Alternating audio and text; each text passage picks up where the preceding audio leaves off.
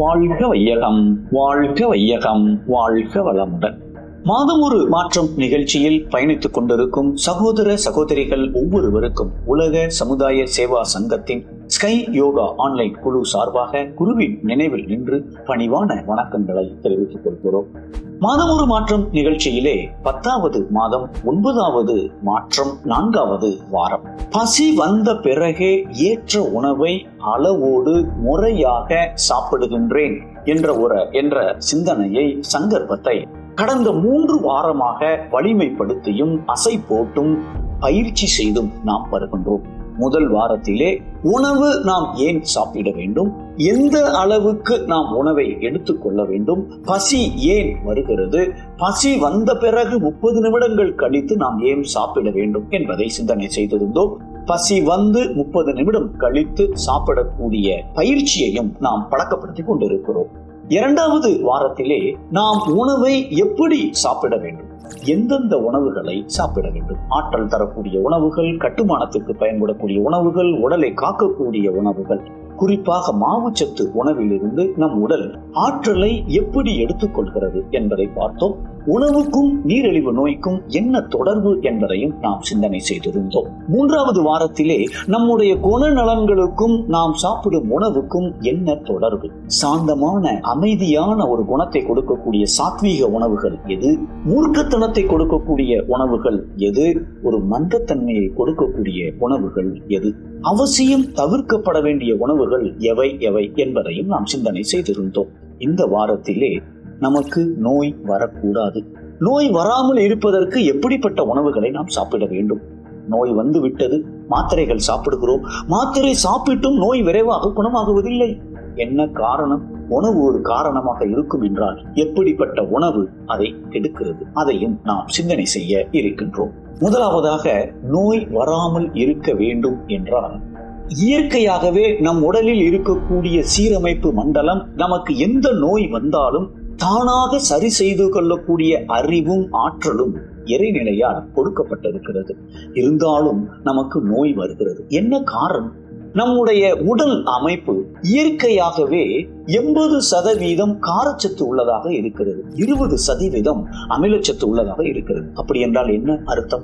நாம் அமிலச்சத்து என்றால் நாம வீட்டை சுத்தம் செய்வதற்கு அமிலங்களை பயன்படுத்துகிறோம். அப்படிப்பட்ட அமிலம் இருபது சதவீதம் தான் அந்த தன்மை என் உடலிலே இருக்க வேண்டும். எண்பது சதவீதம் காரச்சத்து உள்ளதாக இருக்க வேண்டும். ஆனால் நாம் சாப்பிடும் உணவு எண்பது சதவீதம் அமிலச்சத்து உள்ள உணவுகளாக இருக்கிறது. இதை நாம் கொஞ்சம் மாற்றிக்கொண்டால் நோய் வராமலே தடுத்துக் கொள்ளலாம். நோய் வந்தாலும் விரைவாக குணமடைவதை நாம் உணர முடியும். அமிலச்சத்து உணவு என்றால் என்ன? காரச்சத்து உணவு என்றால் என்ன? காரச்சத்து உணவுகள் என்பது பச்சையாக கிடைக்கக்கூடிய காய்கறிகள் பழங்கள் பசும் நெய் பசும் பால் இவையெல்லாம் காரச்சத்து உணவு. சில காய்கறிகள் குறிப்பாக பீட்ரூட் முள்ளங்கி வெள்ளரிக்காய். நாம் ஒரு லிட்டர் தண்ணீர்ல ஒரு டிராப் எலுமிச்சம்பழத்தை பிழிந்து நாம் சாப்பிடும் பொழுது அமிலத்தன்மையாக இருந்தாலும் அது காரத்தன்மையாக மாற்றிவிடக்கூடிய ஆற்றல் அதற்கு இருக்கிறது. கூடுமான வரைக்கும் காரச்சத்து உணவுகள் நாம் எண்பது சதவீதம் எடுத்துக்கொள்ள வேண்டும். அமிலச்சத்து உணவுகள் எவையவை என்றால் சமைத்த உணவு அத்தனையுமே அமிலச்சத்து உணவு. தேங்காய் என்பது அப்படியே சாப்பிட்டால் காரத்தன்மை அதிகமாக இருக்கிறது. கார சத்து அதிகமாக இருக்கிறது. ஆனால் அந்த தேங்காய் சட்னியை நாம எண்ணெய் ஊத்தி கடுகு போட்டு கொஞ்சம் தாளிச்சிட்டோம் என்றால்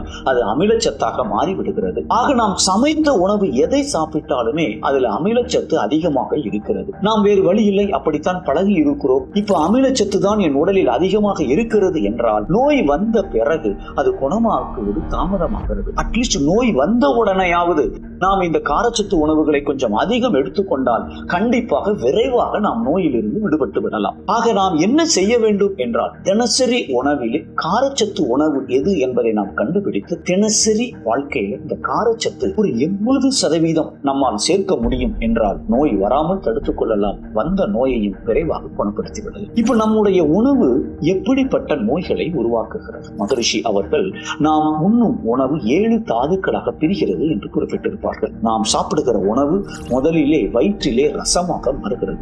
இதிலே ஒரு குறைபாடு இருக்குமே ஆனால் அதாவது தேவையை விட அளவு அதிகமாக சாப்பிட்டால் அளவு குறைவாக சாப்பிட்டாலோ முறை தவறி சாப்பிட்டாலோ அந்த உணவு ரசமாக மாறுபாடு ஆவதிலே ஒரு பிரச்சனை ஏற்படுகிறது. அப்பொழுது வயிறு சம்பந்தப்பட்ட பிரச்சனைகள் அஜீரண கோளாறு அசிடிட்டி த ஆசிட் ரெஃப்ளக்ஸ் நெஞ்சு எரிச்சல் இப்படிப்பட்ட பிரச்சனைகள் நமக்கு வருகிறது. ரசமாக மாறிய பிறகு அது ரத்தமாக ஒரு பகுதி மாறுகிறது. இந்த மாற்றத்திலே ஒரு குறைபாடு இருக்குமே ஆனால் ரத்த சம்பந்தப்பட்ட நோய்கள் நமக்கு வருகிறது.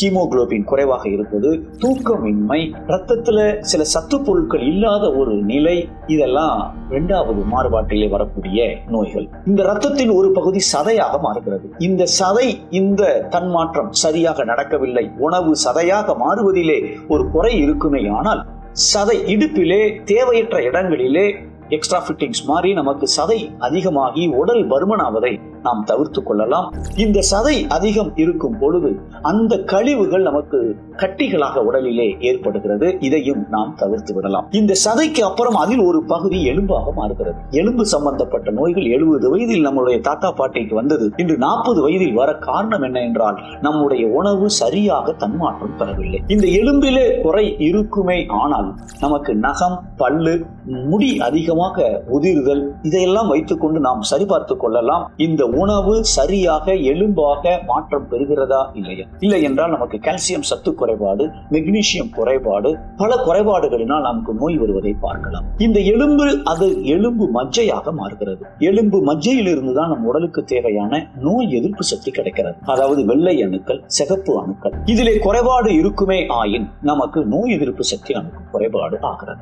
இந்த எலும்பு மஜ்ஜையில் இருந்து வரக்கூடியதுதான் ஜீவ வித்து குழம்பு. இந்த ஜீவ வித்து குழம்பு ஆன முதலில் அதிகம் செலவானால் என்று அவை பிராட்டி சொன்னது நமக்கு நினைவில் இருக்கும். இந்த ஜீவ வித்து குழம்பை அளவு முறையோடு பயன்படுத்தாவிட்டால் உயிர் சக்தி குறைகிறது நோய் எதிர்ப்பு சக்தி நமக்கு குறைகிறது. நாம் எந்த அளவுக்கு எந்த உணவை சாப்பிட்டாலுமே உயிர் சக்தி நம் உடலில் பிடித்து வைத்திருக்கக்கூடிய அந்த தன்மை அந்த தகுதி அது நமக்கு குறைகிறது.